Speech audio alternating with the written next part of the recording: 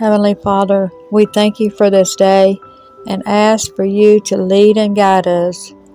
For we know without you we can do nothing. We ask for your sweet Holy Spirit to go with us today. In Psalms 68:19 says, Blessed be the Lord who daily loadeth us with benefits. And we thank you for that.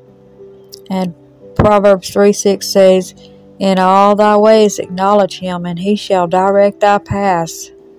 And we acknowledge you, Lord, right now, and give you praise and honor and glory. We ask that you cover us in, in health, healing, and wholeness. We ask for your provision, your strength, your guidance throughout the day over us and put your hands of protection around us and our families, Lord. We ask for healing for all those that need a healing. We ask for you to guide guide our families and all of us down the right path. Teach your children, Lord. Teach our children your ways and put your hedge of protection around them. Thank you, Father. Deliver us from evil and any traps. We ask you to forgive us our sins and take away wrong desires.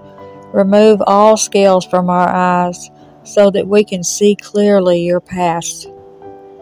Give us hope for each new day. Let us not be confounded or led astray.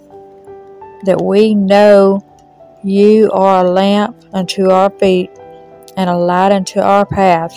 Help us to follow you and show us your will for our lives, dear God.